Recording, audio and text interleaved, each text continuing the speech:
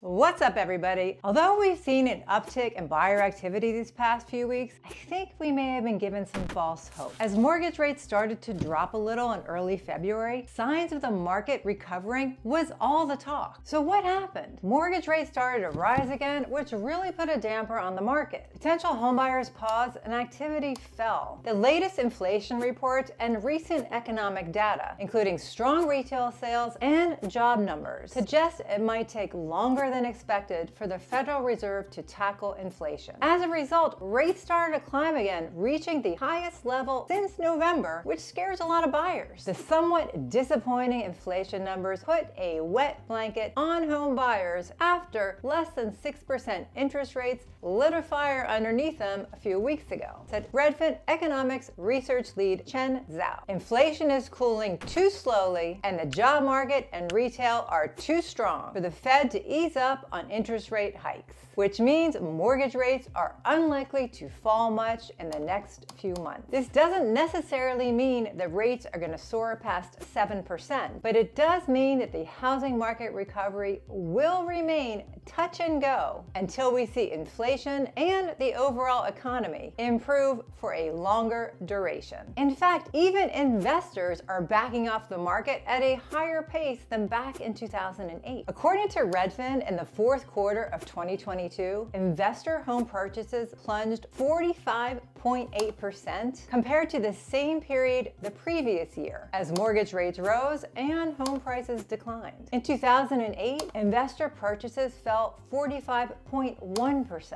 This may be good news for individuals who just couldn't compete with those cash investors during the housing pandemic boom. So today, we're going to take a look at Redfin's data and see what the signs are moving moving forward. So let's just dive right in. Even before mortgage rates went up to 6.87% last week, home buyer activity was still pretty low. In fact, mortgage purchase applications last week were down 43% on a year over year basis. That being said, buyers were still more active than they were last fall. According to Redfin, pending home sales continue to improve. They're down 18% year over year, but that's roughly half of the 33% decline in November. Redfin agents report that there is a strong demand for move-in ready, well-priced homes in desirable neighborhoods. And I agree. Like I've reported in past videos, where I am, which is DC and right outside of DC, in case you're new to my channel, houses that are priced appropriately and show well are still selling fast, at or above list price, and most likely in multiple offers. We're in a mixed market and it can be very, very tricky for buyers. One house can sit and get reduced again and again, while another house is being sold in multiple offers over asking. Add to the mixed market the fluctuation in interest rates, and it can cause a lot of anxiety for buyers today. The best advice that I can give right now is to think long term. If you are planning on staying a while in your home and you can afford a loan right now, you may be able to secure a great home because there is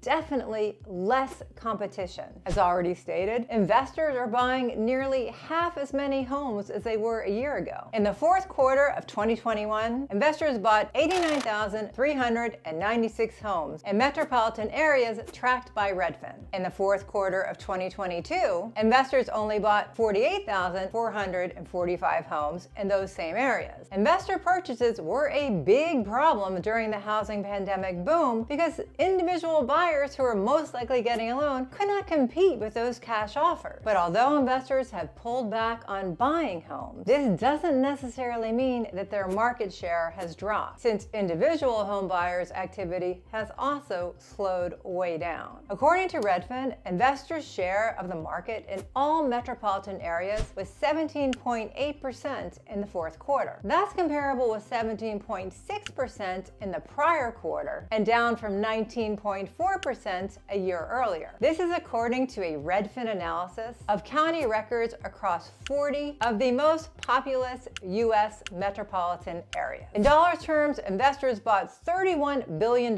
worth of homes in the fourth quarter, down 42.7% from $54.1 billion one year earlier, and down 27.5% from $42.8 8 billion one quarter earlier. And to get even more specific, investor purchases of single-family homes are down 50%, more than any other property type. The cities that are affected the most are the pandemic boom towns like Las Vegas and Phoenix. In Las Vegas, investor home purchases fell 67% in the fourth quarter compared to a year earlier, which Redfin's researchers found to be the largest decline out of all 40 metro areas they looked at. Investor purchases may also be declining in Atlanta, Charlotte, Las Vegas, and Phoenix because those markets were popular among iBuyer investors, many of whom have ceased or slowed operations in recent months. The reason it's important to look at these numbers is if investors start pulling back and try to offload their inventory at a fast pace before prices drop even more, this could accelerate the price declines in those cities where the investor share is high. This is good news for buyers because that means that prices will come down and homes will be more affordable. It's bad news for homeowners and buyers that bought a home during the pandemic boom because values will go down a lot faster than if investors were not involved. According to Redfin, during the four-week period ending February 12th, median sale prices fell in 20 of the 50 most populous U.S. metros, with the biggest drops in Oakland, California, down 9.3% year over year, Sacramento down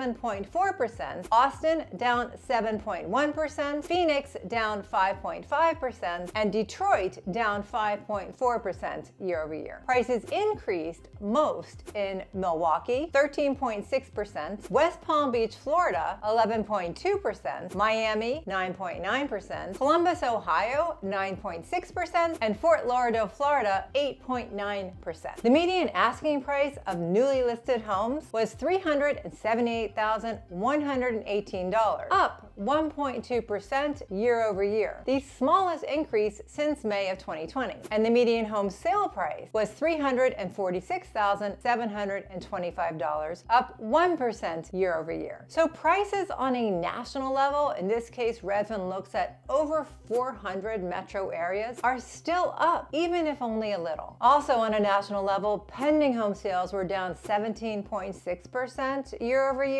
the smallest decline in over five months. So pending sales are improving, which does mean that buyer activity is improving, but I think that's kind of normal since we're entering the spring market. Among the 50 most populous US metros, pending sales fell the most. In Las Vegas, down 57.6% year over year, Austin down 51.7%, Phoenix down 48.8%, Nashville down 47.4%, and Riverside, California down 46.7%. Pending sales actually rose in two metros, Chicago up 67.7% and Cincinnati up 30.2%. All this data just simply tells us that the places that actually boomed the most are also correcting the fastest. I hope this is making homes more affordable in those areas, but I think with the higher interest rates and still not a lot of inventory, that affordability is still gonna be an issue. But what do you guys think? Do any of you guys live in any of the places that I've mentioned? If you do, please comment below, tell us where you live, and tell us what you're seeing. It is the best way that we can all really know what's happening in the housing market across our country. We are in such a mixed market that depending on where you live in our country, you could be having a completely different experience when it comes to the housing market. But one thing that we are all experiencing is higher interest rates, still too high inflation, and still very little inventory compared to pre-pandemic levels. This affordability crisis is far from over. I hope you got some value out of today's video. It's a lot of work making them, and I know I threw a lot of numbers at you today, but sometimes it's good to look at the data to see where we are today and where we think we're gonna go moving forward. If you did get some value out of today's video and you wanna show our channel some support, definitely smash that like button, comment below, and consider subscribing to our channel. It just motivates us to make more videos. And if you wanna see some different perspectives about our housing market, check out some of our other videos because they're all from different industry experts' perspectives so it can give you pretty much the whole picture. Thanks for watching. I do appreciate it. Bye.